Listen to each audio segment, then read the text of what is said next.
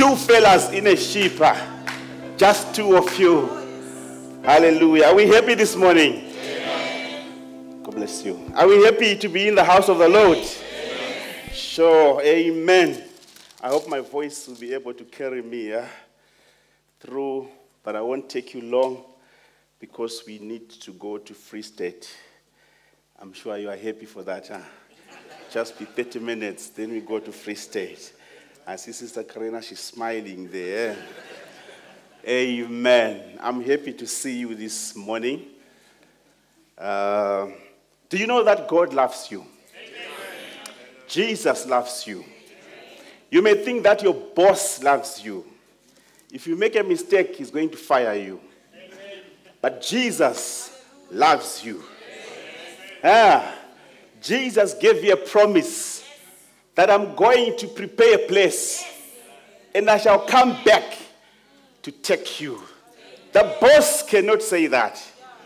Eh, but Jesus can say that. He wants to give you eternal life. He died for your sins. God gave his own begotten Son.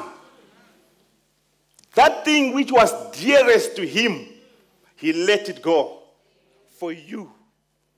Eh? He took your sins to the cross so that you can get eternal life. He loves you. Yeah? He gives you the Holy Ghost. He gives you the new birth to make sure you don't miss it. Hey, wouldn't you love such a God? He sends ministers. He's raised a pastor here to take care of your issues, just showing his love for you. He let us build this nice building huh? so that you can be fed spiritually. God loves you. Huh? He has given you eyes to do what? To read his word, not to see. Because seeing, you see a lot of things. Ah, you see a lot of things. But God gave you eyes to read the Bible. He gave you ears to do what? Listen to his word. You can listen to a lot of things, and there are plenty in the taxi, everywhere. But God gave you ears so that you can listen to his word. Ah, he gave you hands to open the pages of the Bible. I'm sure last night you opened. Huh? How many opened? Pete, his hand shot up to open the pages of the Bible. Not to open some strange things, but the Bible. Are we together? He gave you a tongue to talk to him. Eh?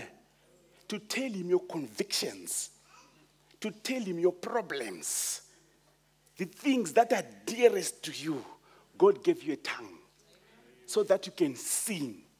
How many were singing this morning? I saw them that we're not singing. Yeah. I said, maybe God can come and just remove that tongue. Yeah? Are we together? So I want to speak about the believer's tongue this morning as we just raise up to our feet. Now, we just want to read quite a number of scriptures. I hope you bear with me. The first one is Pro- Proverbs 15.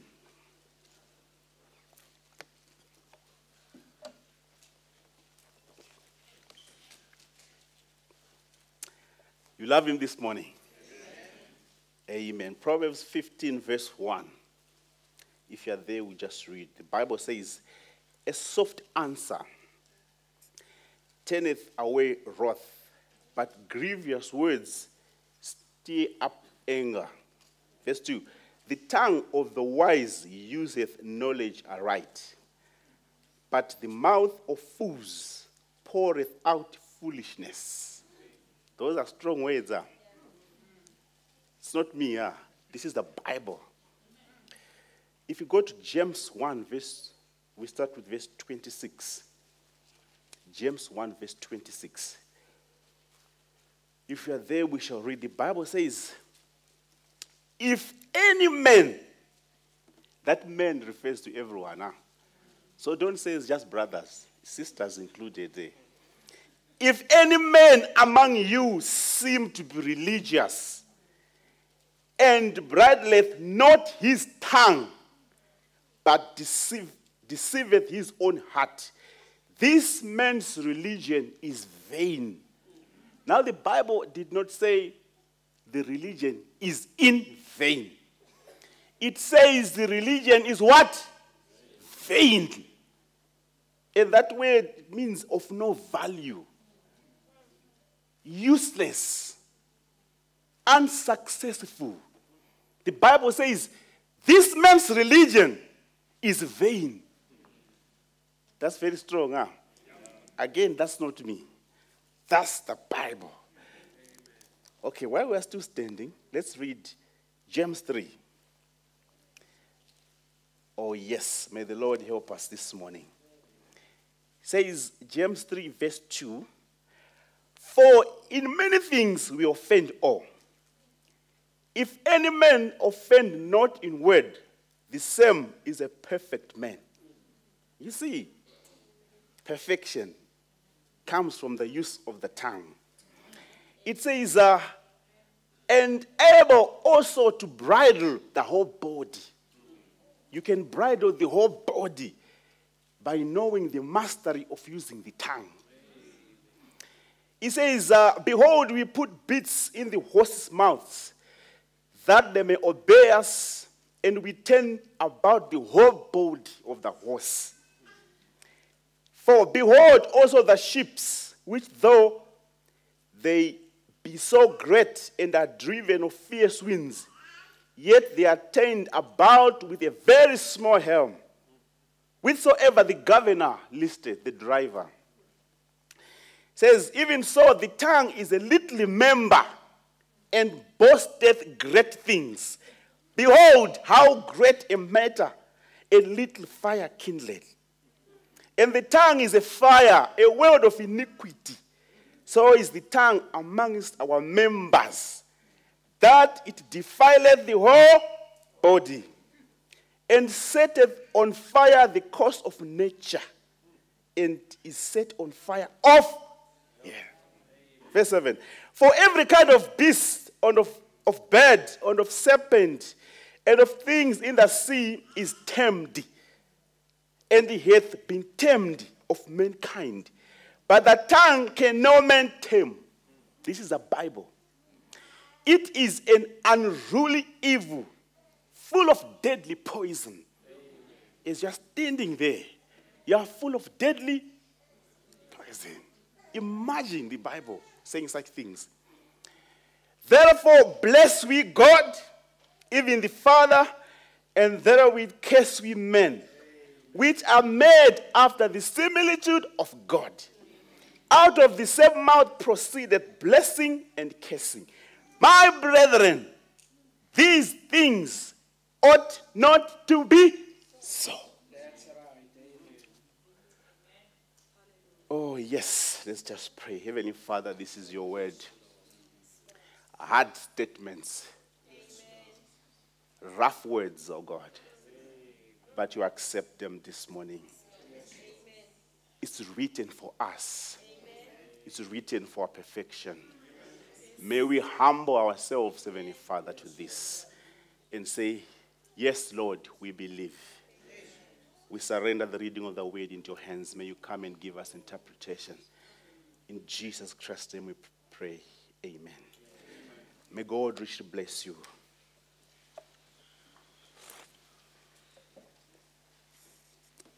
Now, you may say, isn't there something else to talk about? Why talk about the tongue? Now, I'm not speaking about talkativeness. No, don't get me wrong. I'm not speaking about extroversion where someone is a babbling bee, always talking and all this. That's extroversion. That's for the psychologists. I'm not talking about introversion where someone is just quiet, doesn't say a word the whole day. No, I'm talking about that tongue. The believer's. We are clear there. It's not a psychology lecture on extroversion. No, I'm talking about the believer's tongue. Are we together? Why talk about the tongue? We all have one. So we are all affected. We are in the same boat. Because everyone has got a tongue. Every animal has got a tongue. Yeah. The difference is the length, the size, the height, the thickness of that tongue. Even a frog has got a tongue, a chameleon. Yeah. But it extends. Ah. You know what I'm talking about? Ah? The chameleon, it extends. It has got a tongue. Even a crocodile has got a tongue. But it's glued to the jaws. It doesn't move. That's why it just swallows everything. Doesn't chew. But it has got a tongue. A snake has got a tongue. But it's forked, yeah. Yeah, if you meet a snake, Brother Prince, and it's doing this, what do you do? You say, Oh, my friend.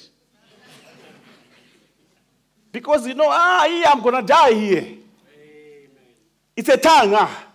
Yes. So they say an average person speaks about 11 million words in a year. Average. They are outliers. Huh? There are some that speak 50 million, some 1 million. But on average, it's 11. You, imagine the amount of words that we speak in a year.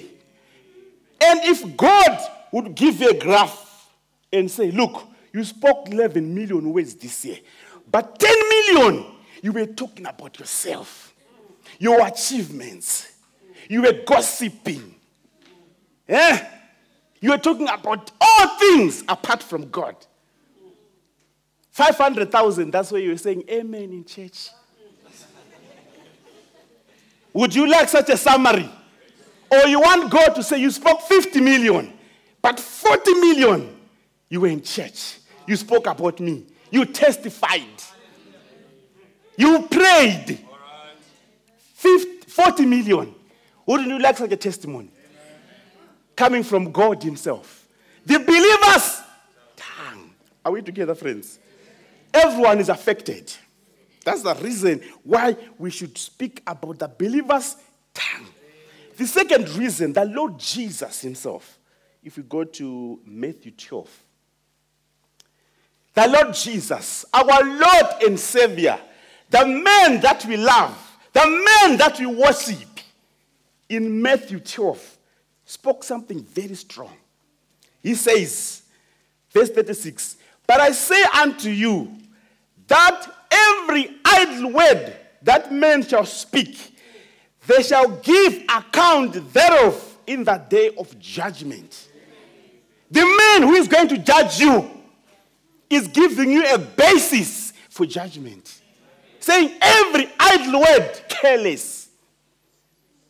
Eh? You are going to meet it on the day of judgment and say, hey, winner, you spoke 500 billion words in your 60 years, and 400 billion were idle words. Give an account. Starting with the one you said when you were two years old. Give an account. Imagine. This is the Lord Jesus saying, on the day of judgment, every careless word you are going to answer. For by the words thou shalt be justified, by thy words thou shalt be condemned. Hey, we give no interpretation. This is the Lord Jesus giving us a basis. Where together? Okay, let's go to Matthew 5, verse 21. I have to rush here. Says, Ye have heard that it was said by them of old time, Thou shalt not kill. Whosoever shall kill shall be in danger of the judgment. First 12 says, But the only person who is allowed to quote scripture and say, But was the Lord Jesus, not you. Who are you? Who is me? Say Matthew 4 says, This bad. Who are you? It's Jesus saying, But I say unto you that whosoever is angry with his brother without a cause shall be in danger of the judgment. Whosoever shall say to his brother Raca, it means empty head.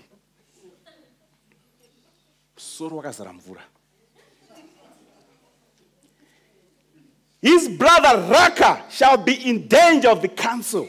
That's for judgment. But whosoever shall say, Thou fool, shall be in danger of hellfire. Which means they are not even a Christian to say fool. Huh? Even if it's your child. You have prepared a pot of Woolworth stew, and he comes. Maybe it's Adonai, maybe it's Jedediah, or it's Nathan. He puts sugar in there. And you say, You fool! It doesn't matter. The Bible says you are in danger of what? Because of your tongue. We have got no right to call our children fools. You are in danger of hellfire. Can we say amen? amen? Is it getting hard? It's not me. It's the Bible. Huh? We all want to go to heaven. Huh? I also want to go there, friends. This was written for you. James 3 was written for you. Yeah. He says we must control the what? Not speaking a thousand words a day or 10,000. No, no, no, no. That's not the point. But what is it that you say? That's the fountain. What is it that you say? That's the question we are trying to address. That's the Lord Jesus speaking about the tongue. We come to James in the Bible. You know James, Pastor James, the, the brother who wrote this, this, the verses that we read. Eh? Remember Galatians 2, verse 9. If we can have it, brother, there. Galatians 2, verse 9. Paul says James was a pillar of the church. He wasn't a fly by night. When James, Cephas, and John, who seemed to be pillars, hey, he was a pillar. Acts 15, verse 18. There was a council in Jerusalem. You know, the church in Jerusalem was very big. It was 123 saints in the upper room. Peter preached one sermon, 3,000 were baptized. So it was a big church, difficult to govern. So they had a team of elders, and James was the leader. Are we together? He was the pastor there in the absence of Peter. And Paul acknowledges, says he was a pillar in that church. Hey, Galatians, Peter was eating with the Galatians. But when those of James came, Peter said, Yeah, yeah, yeah, better withdraw because this is Brother James. This is Brother James. We must obey what James has written. That's the man. Ah. He was the pastor there. And he's the one who is saying it here. Saying the tongue is a problem. You cannot tame it. So it's a problem. I'm sure I had problems in the church at Jerusalem. The church that the Lord Jesus started, it had this problem of the tongue. Are we together? So are we spared? 10% says no. You are not spared. Are we together, friend? Okay, the fourth reason, Paul says it. Romans 3, verse 18. He says, Their throat is an open sepulchre. With their tongues, they have used deceit. The poison ups is under their lips, whose mouth is full of cursing and bitterness. This is in the church of the Romans. The Apostle Paul is addressing a letter with such words in the church of the living God. Can you imagine, friends? Hey, these men we're not, we're not afraid to deal with issues, uh, to cleanse the church, to take a hammer and really hit hard. And then after that, you use a sandpaper. Say, brother, you are now coming right. Are we together, friends? Can we say amen? amen? Hallelujah. Okay, my first quotation. Brother Branham also says it. In the message, uh, Hebrews chapter 7, 1957.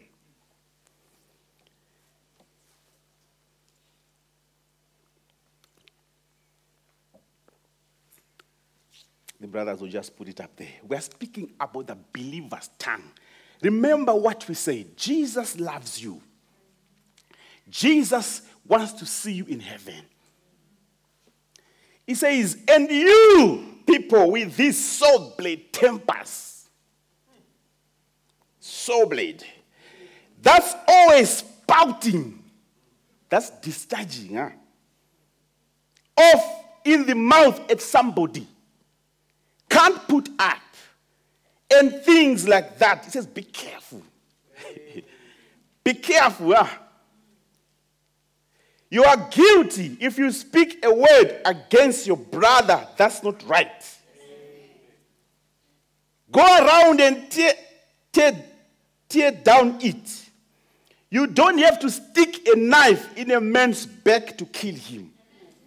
You can break his character and kill him, kill his influence. Just to kill his influence. You are a murderer. And the Bible says what? All murderers will never inherit the kingdom of God. We are together. Now don't get frightened. He says, speak against your pastor here. Sure. That's even worse so far. He says, uh, say something bad about him. You just might as well shoot him. Told something that wasn't right about him. Well, it will kill his influence with the people and things like that. We can remove the word pastor and put any brother, any sister here. You kill his or her influence. You are a. You are a what? How many murderers do we have? but we come to church for cleansing. Huh? Are we together? Even though I am a murderer today, eh, the one who's convicting you is also the judge. Eh? The one who's laying charge against you, the prosecutor. After prosecuting you, he becomes a defendant. Then he becomes a judge and says he's not guilty. Innocent.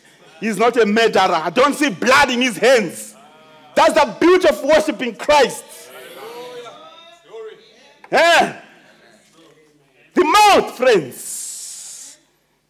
Problem number one. If we go back to the scripture that we read, it says your religion is, in, is vain if you do not bridle your tongue. Your religion is in vain. I hope I'll be able to use this thing. Your religion will be in vain. Just move it for me, brothers. I think I was born ABC. Just move to the next slide. So it says uh, the bridle. It's a piece of equipment that is used to direct a horse. You know this, huh?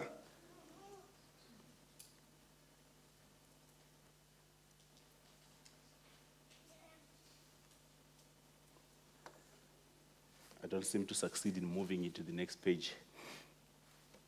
It says uh, a bridle is a piece of equipment used to direct a horse.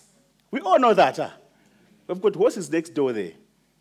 When you want to ride it, you put things, ah, and then you hold the reins. If you want to turn right, what do you do?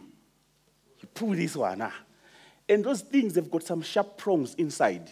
So if the guy refuses, you pull harder and it goes in. Then at some point, it's got to give in and turn. Those ones are the rein. We've got the, this, is, this whole thing is the bridle. And in here, I've got some bits it's a sharp prong that goes in. So if you want that guy to turn right, you pull it harder. Eh? And the apostle James is typing that thing to your tongue, to my tongue. So if the bishop does not bridle his tongue, his religion is vain. Can you get closer home? if the song leader does not bridle his tongue, his religion is what? If the deacon's wife does not bridle his tongue, I've said deacon's wife because I'm also a deacon. You may say I'm referring to those two brothers. Huh? Does not bridle her tongue. Her religion is what? So it affects everyone. The layman, the Sunday school teacher, the Sunday school superintendent is affected here. Your religion is worthless if you don't bridle your tongue. We are together there. Problem number two these careless words. If we use ugly, dirty, spiteful, gossiping, grumbling words, at the end, they'll condemn us. The words that we speak. Eh? Because Jesus said those idle words will meet up with you on the day of judgment.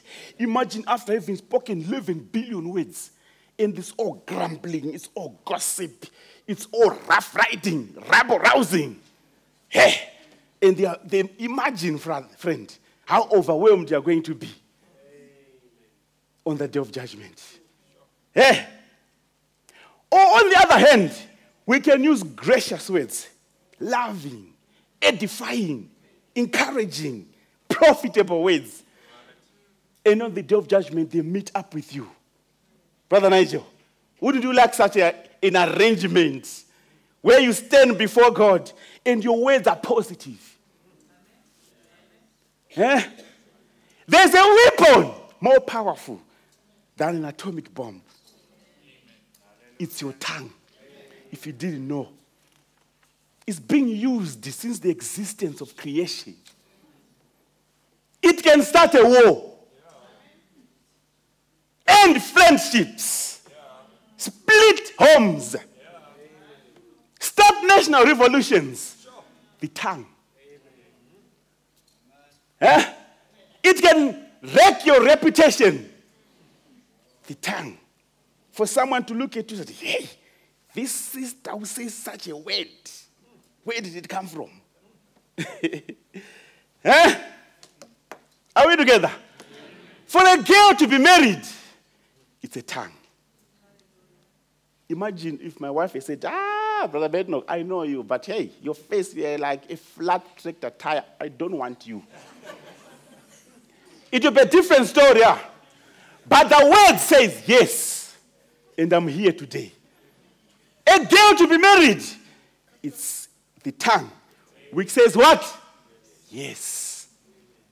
And then, brother, you can smile up to here. Because is that church fights? Is that family fights? Is that misunderstanding? Is that hey, eh, this is Pastor James addressing the church. It's not me. Are we together? Let's read something in Philippians 4, if you can have it, brother, there. Philippians 4. This is Paul addressing the church in Philippi concerning two sisters, Syntyche and Euodias. I hope the pronunciation is right. Huh? Hey. Even Paul himself he had to deal with the issues of the tongue. I won't be long, huh? like I said. Uh, Philippians 4, verse 2. Paul says, I beseech you, and I beseech Syntyche, that they be of the same mind in the Lord. Hey, the apostle coming down to join in in a feud between two sisters in church. Can you imagine? Can you imagine, friends? Yeah? Let's go to verse 2, the, the next verse. says, I entreat thee also, true yoke fellow, help those women which labored with me in the gospel, with Clement also, and with other my fellow laborers whose names are in the book of life. Paul is concerned because their names they are in the book of life. You sitting here, your names are written somewhere in a small corner. Your names are written. Otherwise, you would not be here this morning. But why do we have Sister Syntyche and Sister Euodias? Pulling, tug of war, because of that tongue. Hey, if you are pulling, sister, recant. Don't drive your car home there when you know I, I, I don't I, I can't speak with sister so and so. Even if I meet her in Vereeniging, I, please, can I urge you? Don't drive outside there without going to that sister and say, Sister, God bless you. You promise me? 10% of the church. That's up to you. That's up to you. You are going to meet those words when? Day of judgment. You better clear it now. Are we together? Yes. Now I think you know me from Matthew 15. Now. It's one of the chapters that I like most. we are speaking about the believers'. Hey, I like Matthew 15 and Matthew 12. Verse 17 of Matthew 15 says, Do not yet ye yet understand that whatsoever entereth in at the mouth goeth into the belly and is cast out into the draught. But those things which proceed out of the mouth come forth from the heart and they defile them men. For out of the heart proceed evil thoughts, murderers, adulteries, fornication, thefts, and all those things. Eh? Jump to Matthew 12. It says, Either make the tree good and its fruit good, or else make the tree corrupt and its fruit corrupt. For the tree is known by his fruit. Jesus says, O generation of vipers, Matthew 12, verse 34. How can ye, being evil, speak good things? Hey, you, being evil, speak good things. For out of the abundance of the heart, the mouth speaketh. A good man out of the good treasure of his heart bringeth forth good things. Jesus is speaking of three things. Our words expose three things. We either have a heart of a viper, that's verse 34, or the heart of an evil man, that's verse 35. Or the heart of a good man. Verse 35. The tongue exposes the nature. If you've got a critical heart, you've got a critical tongue. You believe that? Sure, I can see faces they are not happy. It says, now you are trending on our toes. I'm not trending on your toe, sister. I never left my home and come here to trend on your toe. I'm supposed to be in free state to tread on the toes of the devil, not you. We're just preaching the gospel. Are we together? Can we say amen? amen. Can we say amen? amen? Sure. A self righteous heart produces a judgmental tongue where you judge things. You judge the dress. Say, ah, it's not up to standard. Because yours, you think yours is up to standard. You judge the dress code of the next sister. Say, ah, she's not yet there. Who are you? Huh? Eh? Who are you? It's because your heart is judgmental. And then your tongue becomes judgmental. Whether you speak one word a year, but that very word that you speak is judgmental. Whether you speak 50,000 words in one hour, but those ones, they're judgmental. Because the heart is what? Are we together, friends? Jesus loves you. A bitter heart produces an acidic tongue. Eh? A grumbling heart produces a grumbling tongue. Ungrateful heart will always produce a grumbling tongue. Eh? But a loving heart, you may say, hey, this brother is just negative. A loving heart produces a gracious tongue. A faithful heart produces a truthful tongue. A peaceful heart produces a reconciling tongue. Are we together, friends? The believer's tongue. A trusting heart who produces an encouraging. So, no, trust in God, sister. Trust in God, brother. Who pray for you, brother. Don't worry about this. God is great. But hey, I, I went through this. It was hard. Hey, ah, brother. hey, See what you can do, brother. This, ah, see what you can do, sister. Don't just say church, church, church, church. Don't just say church, church, church. Do something. Hey. It's because the heart does not trust in God. And then the tongue. Are we together? The tongue of the Athenians, those who stay in Athens. Acts 17, verse 21. You have read that scripture before? Those that stay in Athens, let's hear it, brother. What do they do? To hear things. Yeah. Let's hear it, brother. Acts 17, verse 21. For the all the oh, the Bible says oh. How many believe the Bible does not lie? The whole town those that stay in Athens, we can say those that stay in Vereeniging, everyone in Vereeniging, and strangers as well. Those that come in to visit, they get enveloped by that spirit of doing what? Spend their time in nothing else.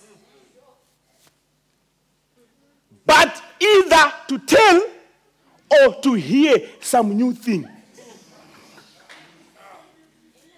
Those in Athens. Is that the country tabernacle? Yeah? Where you just want to hear. When you visit, you want to hear. Now I've come to visit you, brother, just to see how are you doing. Okay, I see your grass is green. You are not taking, okay, I take, okay. But yeah, this portion is, brother, I can do with some gardening here. Yeah? Ah, sister, I've come to see you, sister. I've come to see you, but you are busy watching, hearing. What about this? What about this? What about this? What about this? Ah, thank you. The next thing, hey, did you hear? Sister so and so, hey. Aye, aye, times are hard for the sister. Hey, hey. You are an Athenian. There's something wrong with your heart. You need Jesus. You need the blood of Jesus to cleanse you. Otherwise, those words will meet you on the judgment day. Are we together? Surely. You like me after this, sir? The tongue destroys. How are we doing on time? Sure. The tongue destroys. Eh? The tongue defiles. It defiles you. It destroys you. Your words can have everlasting damage. The words that you speak, careless words, we have some everlasting damage. Huh? They'll defile you. Hey, are we together? Huh? They can strip that radiance, that respect which people have for you. That when they see you, they say, ah, brother so and so, sister so and so. But one word that you say, they say, hey, yeah, yeah, yeah. Which church does he go to? say goes to country tabernacle, said, Hey, is that what they teach? Who is the pastor? It's Brother Hannes van Wyk. Hannes, ah, but I know him, he's a good man, man. Huh? What is happening? What is he teaching? You see now. What is he teaching? There, that church. Ah, but yeah, hey, my daughter. Ah, yeah, yeah, yeah. ah, I'll never go there. Because of your tongue. Because of my Don't be afraid. Jesus is here. He can wash you. He can clean you. This is James speaking. Pastor James. This one was a pastoral letter. It, was a, it wasn't evangelistic, where he was blasting sin. Ah, it was pastoral, showing them the position of their tongue. Eh? Paul speaking about those two sisters, Syntyche and Euodias, the position of their tongue. That sister, this is your position. Eh? You don't just throw your tongue anyway. Brother, this is your position. You don't just, eh? you don't just spew words, discharge words like an open sewage pipe. You don't just do that. You are a sister. Jesus died for you. You are a brother. Jesus died for you. To cleanse that tongue, man. Are we together? James 3 it says, All kinds of animals, birds, reptiles, creatures of the sea are being tamed, and they have been tamed by men. But no man can tame the tongue. No man, but Jesus can tame it. You believe it? Jesus can tame it. A horse is tamed so that I can decide where to go, left or right. A dog can be tamed, it doesn't bite you. You do this. Angola! You know Angola? Yeah, my brother Paul there. The other one is India. India, come here. I'm sure there's a Japan coming. Because the dog is what? Is tamed. Huh? Because the dog is tamed. It does what you want. Are we together? Now, if your mouth is tamed by the Bible, what are my expectations? If your tongue is tamed by this Bible, by the Lord Jesus, what are my expectations? Can you gossip? Yeah? Can you gossip?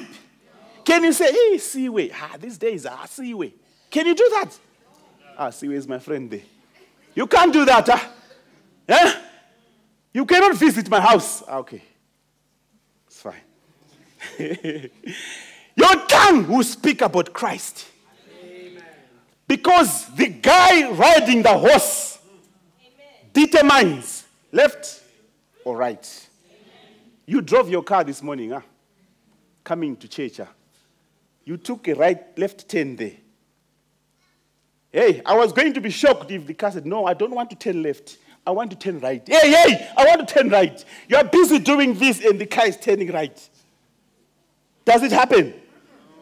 Ah, if your tongue is tamed by the Lord Jesus, you speak about Christ.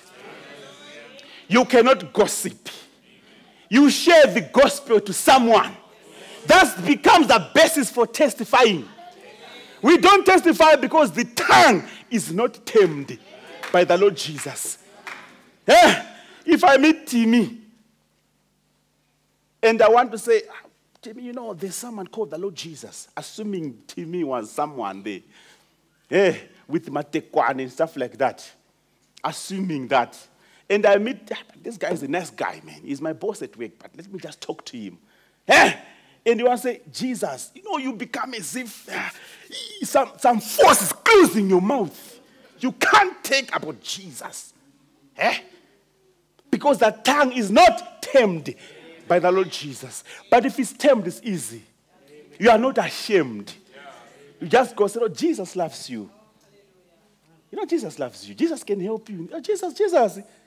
Ah, what do you mean, Jesus? Jesus, yeah, come to church. You invite someone to church. The whole year, you don't even invite one person to come to church. Is your tongue tamed? Now we're going to evangelism. Huh? Is your tongue tamed? One year, in, out. You are just alone coming to church. But you can see the bench is empty here. You are happy. You and your family, you pack yourself in your car. Let's go to church. You come, you sleep in church. How can it be, friends? Is the tongue tamed? Eh? Is Jesus riding on your tongue to speak about Christ, to speak good things, to encourage someone, eh? to visit someone who is sick and say, Let me offer my two cent prayer. God bless you, and go home. To encourage someone about Christ. If your tongue is what? Tamed. Are we together? Or we backbite. I like that term ah, because you bite someone at the back, he doesn't see. Sorry, I was just playing with playing with you. the believer's tongue, friends, is it tamed? Is my tongue tamed by the Lord Jesus? Are we together, friends? The tongue is a very dangerous weapon. We must control it. Amen. Now we are there. Let's just read that quotation. It says here, sometimes we, you can just follow with me there. We have growing pains when we get to be men and women, when we are born in the kingdom of God, Christ. But the thing about that, it hurts. The thing about this, I'm sure the prophet was referring to the Bible. The thing about this, sometimes it hurts. and then it says, This, it makes you joyful and happy. But it's growing pains. You are going out, getting bigger, getting to be bigger man now than what you used to, to be. Now you just got wider shoulders. That don't mean nothing about it. Eh? Maybe you go to the gym, it means nothing. It says, that, but you're wider here. I'm sure I was pointing to his heart. Not across here. In here. Here is where you're supposed to spread out, get bigger in your heart on the inside. When Christ comes into the heart, then he comes into your. When Christ comes into the heart, he comes where? Now, if he's not in the mouth, is he in the heart? That's strong, huh? Don't say amen if you don't believe it. then he comes into the mouth. Then he comes into the. You don't see strange things because he's in the. He comes into the mind. You don't imagine things because he's controlling the. Young brothers, I don't want to start on you. But if you start sleeping there, yo, I don't know what's wrong with this thing here. He says, uh, but I wanted you to, to, to read, to read together with me there. I'm reading paragraph 175. I'm not really sure. It says here, um, he comes into the mouth, paragraph 175. He makes you talk different. Ah, what a promise. He comes into the mouth. You are still talking, but he makes you talk different. You don't talk like you used to do, but you're still talking. If it's 50,000 words per minute, it's still 50,000 words per minute, but you're talking different because he's in control of the tongue. Christ got into your mouth. Huh? Done, grown now from your heart. You love, your love you had for him till you can bridle your tongue. He says, brother, that's a great thing till you can bridle your, you can control it. That's what, that's the promise which is there. Huh? You can bridle your tongue, the believer's tongue. Okay. The next one says, a woman. that walk, get on the telephone. A woman represents a church. So it's brothers and sisters there. Get on the telephone and tattle and start fastest. Where? In the church. And things like that. That isn't a life worth of the gospel that you are going to represent. Any person that will break up a church starts a feud between people. Things like that is not worthy of the gospel that we preach. You are not worthy of the gospel that is being preached. Where? Here. Please find another church. But before you do that, repent. Huh? are we together, friends? The believer's tongue. Okay. It says here, I'll just uh, start reading from. It says, You may be so burdened with sin until your soul is as smart as it can be. You, you may have tried to get rid of that ill temper, that slandering tongue, that gossip on the telephone, on the smartphone, on WhatsApp, eh? on what's there. The things that we write on WhatsApp. And all the little children in the family, they've got WhatsApp accounts. Hey, they don't even know one quotation. But they all go to WhatsApp. No, you must put WhatsApp, my, my, my son. Yeah, WhatsApp. Brother Badnock, how are you? Find it's a WhatsApp from a four year old. Hey, On the telephones, on the WhatsApp. That's where we gossip about one another. Until one sister sent me a message. I said, Sister, don't ever send me such messages. Please. Hey, ask me her name, I'll tell you. Says, I said, don't even send me such messages, such type of messages on my phone. I don't want. It was a WhatsApp message from a sister. 30 years in the message. Yes, this message failed. Has the blood of Jesus failed to tame your tongue? The things that you type on WhatsApp, so offensive. The pictures that we put there, so offensive. And when you look at it, you get ashamed. Sure, a slandering tongue. Eh, a tongue, words that damage the reputation of others. Where you slander your wife in front of others. Said, ah, hey, I, I, I don't know what we eat there at home. It's just the mambo jumbo. and four brothers, they are listening there. Says, how is it? Oh, it's stew with uh, fish inside there. You don't know. It's like medicine, cough syrup in plate. And the other brothers, they're laughing. What happens when I see your wife? I said, hey, yeah, Lord have mercy. Slandering your wife. But it's a brother seeing a special here. Yeah? It's a sister outdoing the husband. Say, now, now you start lying, you see. When there are five brothers there, so now you start lying. And the brother will just say, Eh? Embarrassing your husband in front of others, even if he's wrong. Eh?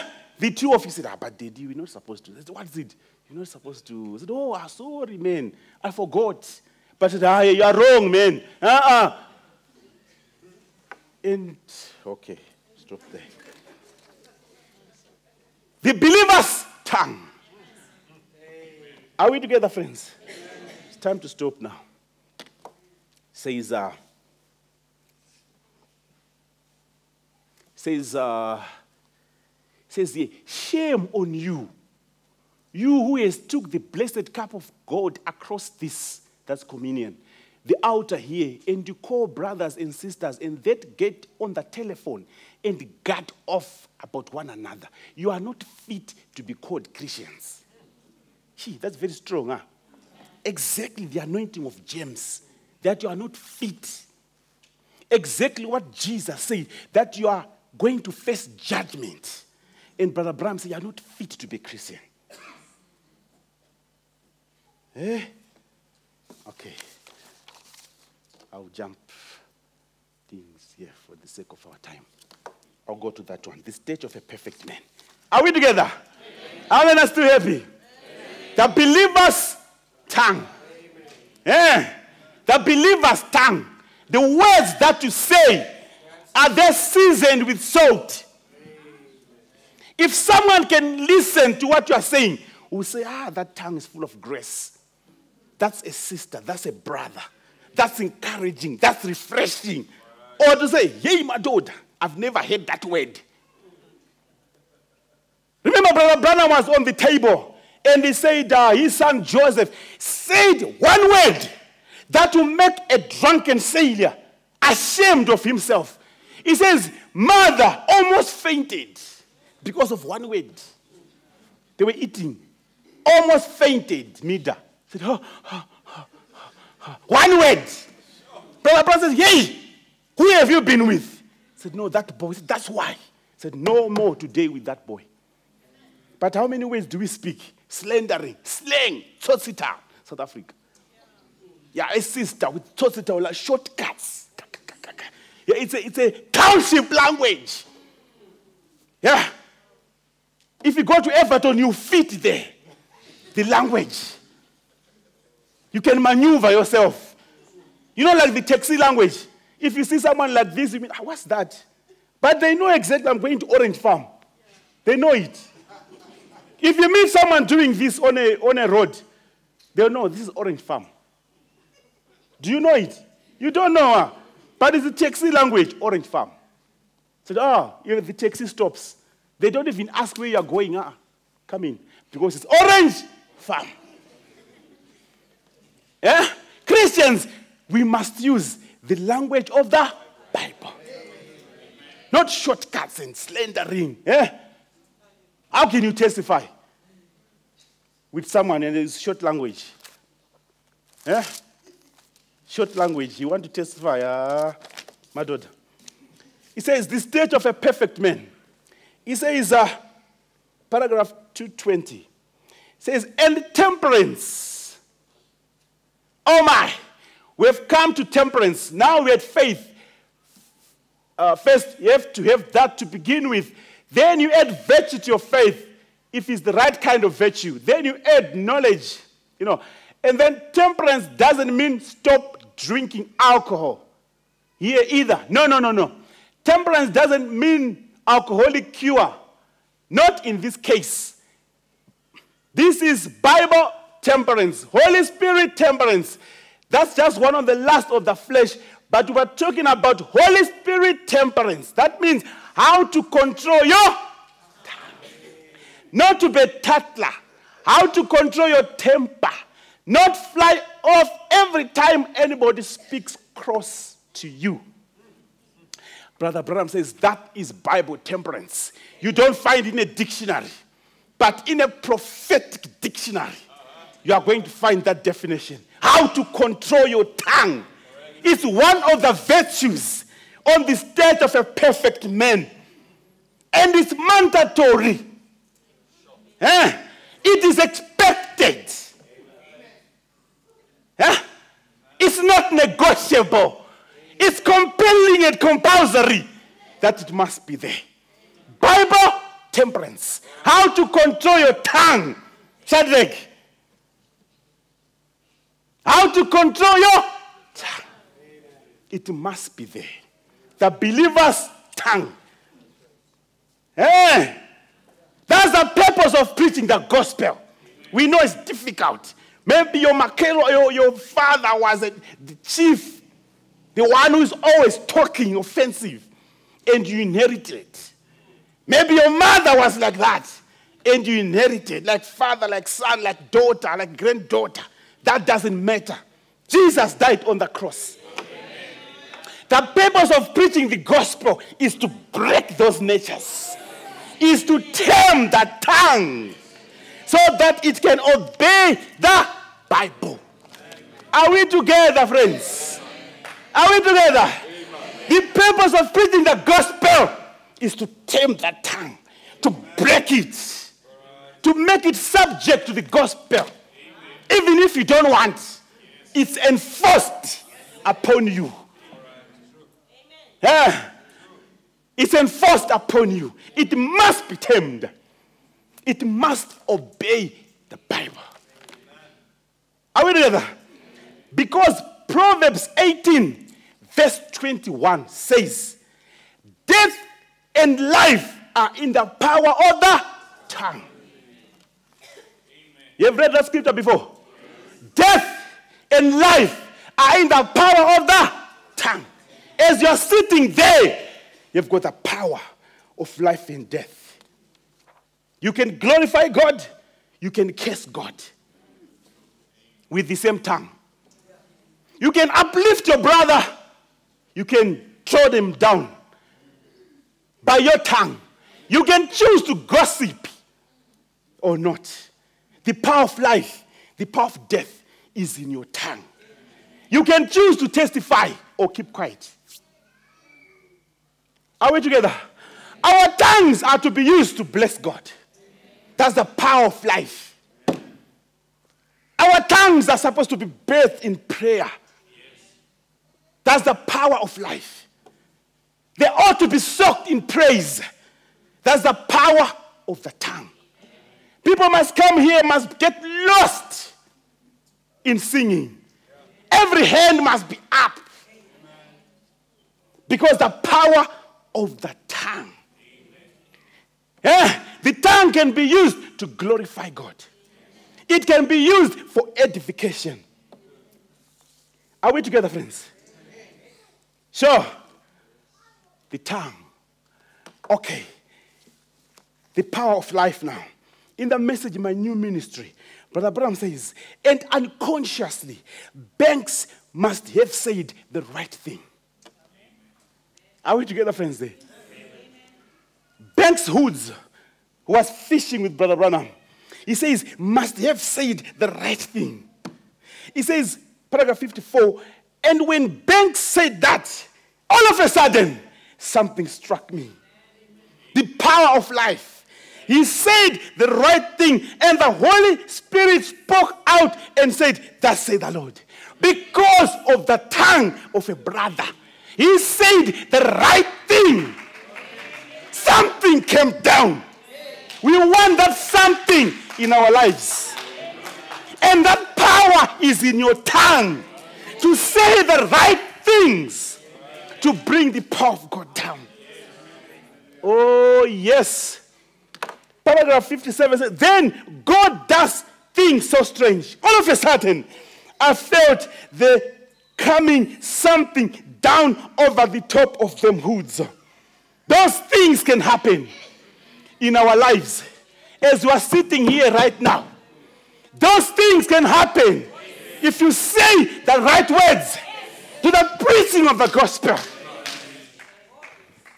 He says, and the Holy Spirit moved it down and said, Stand up, speak to this little fish, and it shall have its life again.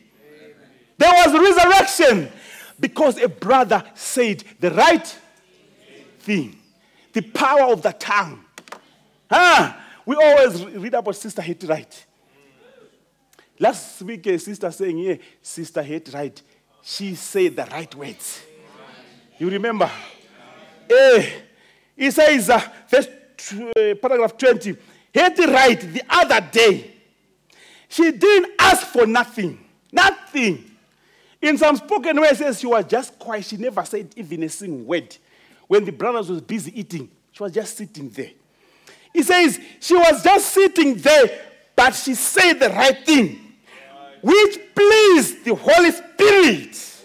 Friends, can we say the right things that will please the Holy Ghost, such that it comes down to deal with your situation? Eh? which pleased the Holy Spirit. And the Holy Spirit spoke back and said, Hattie, ask anything that you will. Whatever you got, whatever, what a way to receive your things. When God Himself comes down, says, ask what you want. Because this which have said, I'm happy. Remember, Brother Bram says, The angel of the Lord loves this song. Only believe all things are possible. Brother Bram says, The angel of the Lord likes this song. Ah, whenever that song was sang, the angel will come down. And today, let me give you a challenge. If your tongue is tamed, you can say the right words. All heaven will shake and say, Come down, Gabriel. Do something for this woman. Do something for this girl. He says, Ask anything, anything. But Abraham said, The healing of your crippled sister. You need healing this morning. Church, are you with me? Are you with me? The power of life is in your tongue. Brother Branham asked it right. Do you need healing for Edith? Yeah? Says $10,000. Everyone needs $10,000 here. I need it too. But we're busy begging and crying and fasting for one million. But here the secret is say the right thing. Use your tongue as a power of life to bring God down in your situation, in your home life. You need a healing, intervention from God. Use your tongue because the power of life lays there. You can say the right thing to bring deliverance in your life. The power of death and life is in your tongue. Are we together, friends? God can do something for you if you say the right things. That thief on the cross, what did he say? Jesus was there. One on the left, one on the right. One guy says, Hey, come on, hey, deliver us, man. What's your problem here? You are healing others. But this guy says, Hey, hey, hey, don't you fear God? Don't you fear God? Don't you fear God? I'm a murderer. I'm a thief. I'm a burglar. I'm a rapist. And I'm here, I'm dying. But this man, this man has never done anything wrong. Remember me when you come for your kingdom. Jesus, I'm sure, was surprised. He says, What? Today, you'll be with me in paradise. No baptism, no repentance, no altar call, nothing. Just the tongue, just the right word. He's in paradise. Say the right words to bring about your redemption. The things that bother you, Jesus is waiting for the right words. Not grumbling, not murmuring, not slandering, but the right words to bring about your redemption. Joshua, he said the right words. Eh? Just the power of his tongue. Say, sun, stand still. Moon, stand still in the valley of Ajalon. And the Bible says, never had that thing happened to stop the sun, but it was the power of the tongue that Joshua used. Hezekiah, what did he do? He brought that letter, he put it on the altar. Says, Lord, aren't thou God that created the universe, who ruleth everything? Look at this man, how he seeketh a quarrel. May you show him that thou art Jehovah. And God came down. Say, Isaiah the son of Amos, go and tell this man, that which has prayed to me against Sennacherib have I heard. Stand ye still and see my salvation. Do you want God to come down in your situation and say, stand still? This lust of yours, you see it no more. This temper, you see it no more.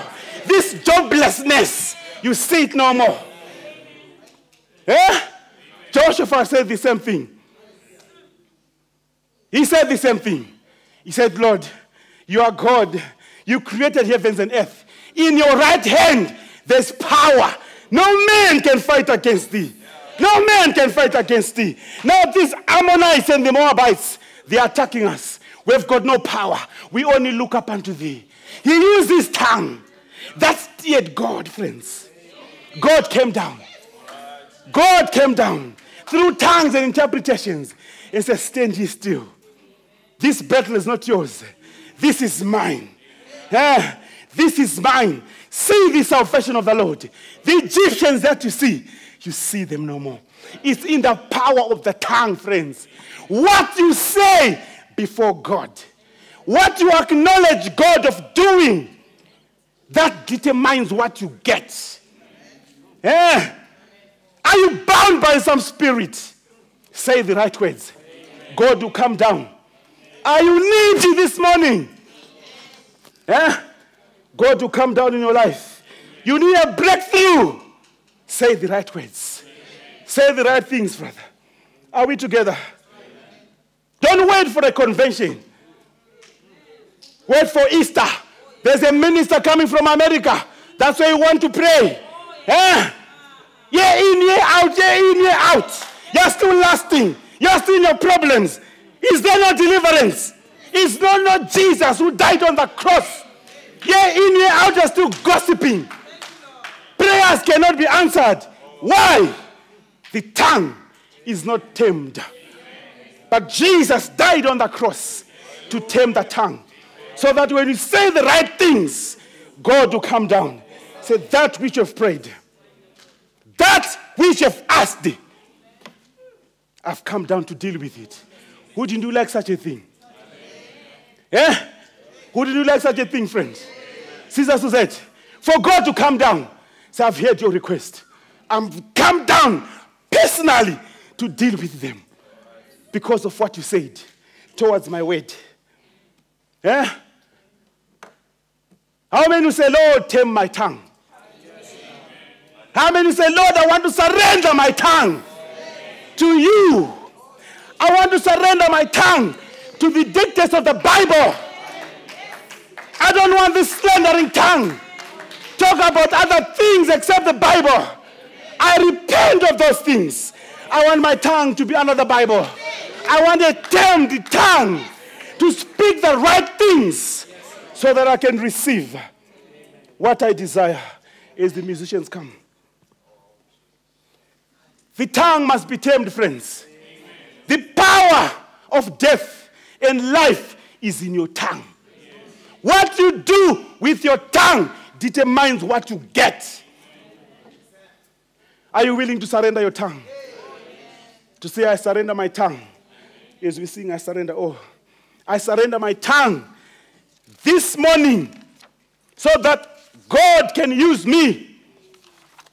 I surrender my tongue this morning so that I can bring the presence of God into my situation. I've got needs. I've got financial needs. I've got spiritual needs. I've got emotional needs. I've got needs in my body that I need God to undertake.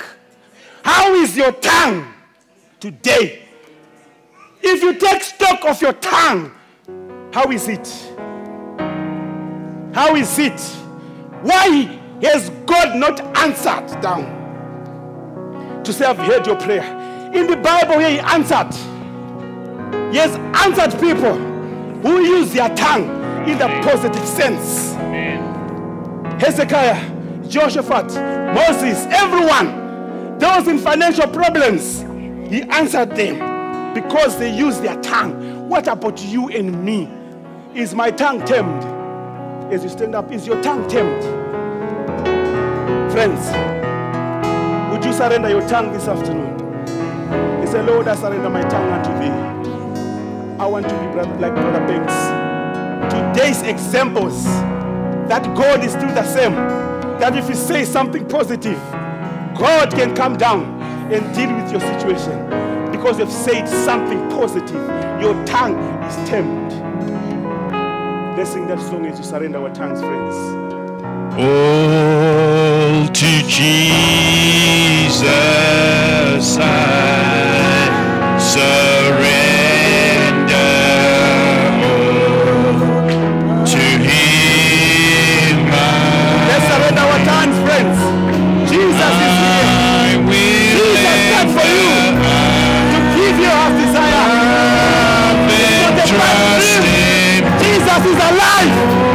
life forevermore. His blood is here to deal with the situation. How is your tongue? Is it surrendered to the Lord Jesus? Is it a gossiping tongue? Is it a tongue that breaks others? Yeah. Is your tongue surrendered to the Lord Jesus?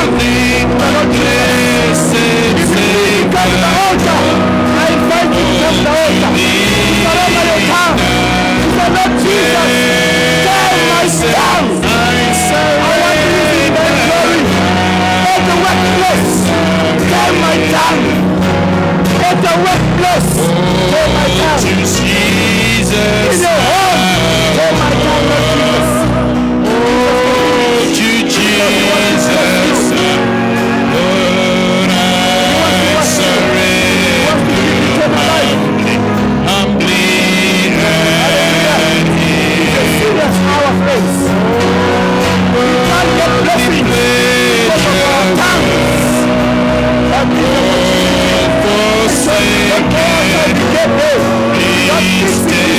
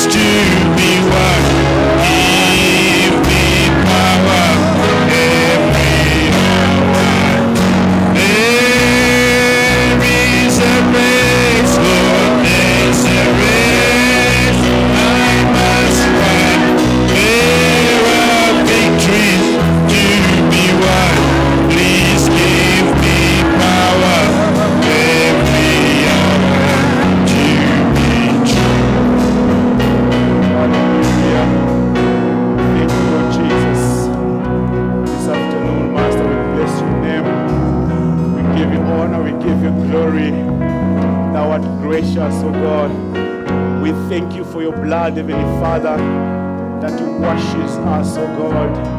We thank you that we can have recourse and come back to you, O God, for a cleansing. Master, my head is up. I need my tongue tamed.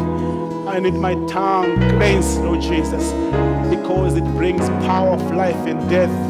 I can use my tongue to bring life or to bring death, but I don't want to use it to bring death, Heavenly Father. Let me prophesy life, Lord God Almighty, with my tongue. Let me use it to bring the glory of God down. Master, in my house, in my work situation, in my needs, God, let me use my tongue to bring the Shekinah glory down so that it can do things for me.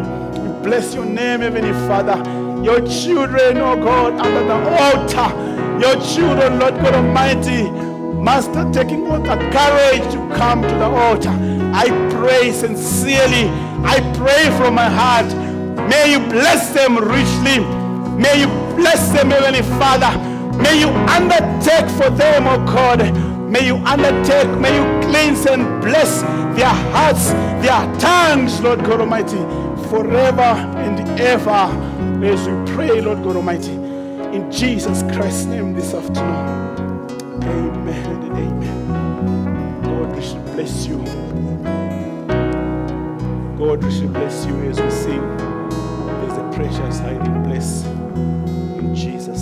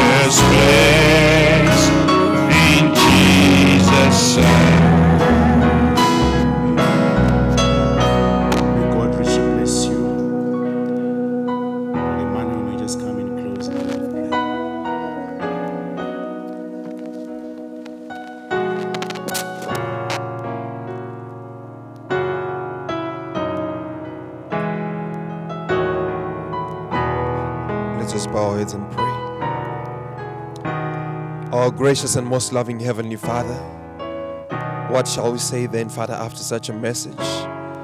Dear God, Jehovah, Father, it's your voice speaking to the minister. Lord Jesus, Father, seeing the places where we lack, seeing the places, Father Jehovah, where we fail thee, dear God. But Lord Jesus, Father, we are so thankful, dear God, for your children, Father, with hearts, Father Jehovah, that are so mellow. And Lord Jesus, Father, when they hear the voice of God calling them, Father Jehovah, they are not ashamed, Father Jehovah, to stand and say, Here I am, Father, to cleanse, Father Jehovah, even Lord God Almighty, every sin, to cleanse every iniquity, dear God. And Lord Jesus, Father, that's what David speaks about, Lord. And he says, Give me a heart, even Father Jehovah, that listens to your word, even Father Jehovah, that is able to be malleable, dear Father.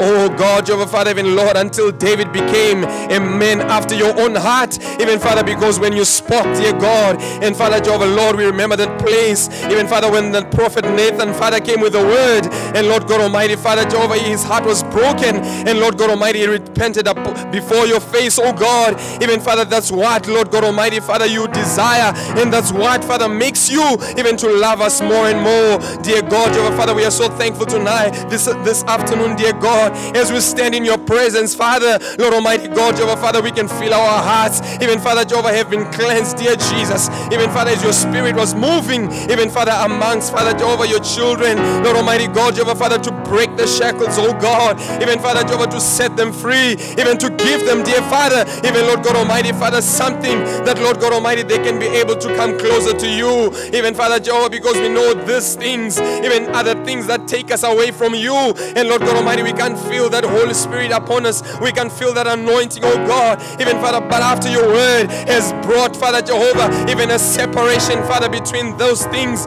and you, dear God. Even Father Jehovah, we can be able to come drawing closer to you, Father. Oh God, that is our desire this afternoon. I want to be closer drawn to you, Father. Even Lord God Almighty, Father, we thank you, dear God, even for your saving power. We thank you for your delivering grace. Even Father, this afternoon, dear God, I believe your children are set free. Father Jehovah, they are free indeed. Until Father Jehovah, the songwriter wrote, he says, He that the Son is set free is free indeed. No more pain, Father Jehovah, of slavery. Oh God, Jehovah Father, we are thankful tonight, this afternoon, dear God. May your Holy Spirit bless each and every soul, dear God, Jehovah, even that has repented, Lord. And we pray, Father, that Lord, may you give them grace, even Father, to walk, even Father Jehovah, in the newness, oh God, of your Spirit, Father Jehovah. Even Lord God Almighty, as your word has given us the admonition, Father, on how we ought to speak, Father. May your Holy Spirit, Father, continue, even Lord God Almighty, Father, to give us the strength, even to bridle our tongues, oh God. Even Father, may we speak grace, and Father Jehovah, that will edify. Father Jehovah, may we speak things, Lord God Almighty, that will encourage people, dear God. And Lord God Almighty, Father, we are so thankful for the minister.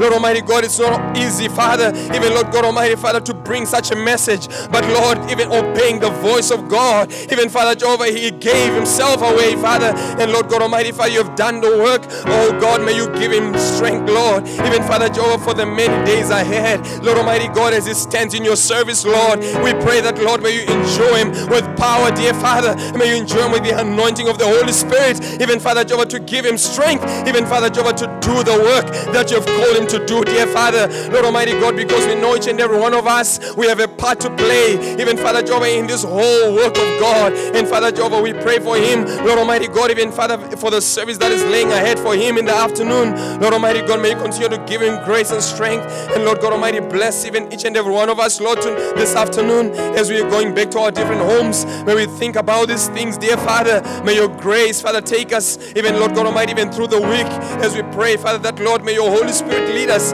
and guide us through. Father, we pray. We also pray for our pastor, dear God, even Father, with the work that is ahead of him, Lord, even going to Malawi, dear Father, Lord Almighty God, we want to pray that, Lord, may you inspire him in a special way. Continue to lead him and guide him, dear Father, that he may be a blessing, Father, to the bride. We pray this afternoon, Father, we thank you. We appreciate you this afternoon. And Lord God Almighty, Father, all we can say is all praise and honor and glory be given to your wonderful, precious name. We love you, Father. We appreciate you. In the precious name of the Jesus, the Lord Jesus Christ, we pray.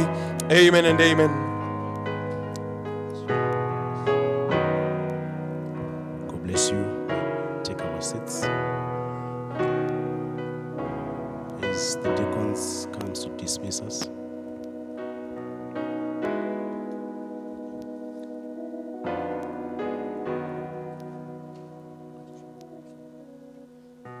Sorry, people, I made an error this morning.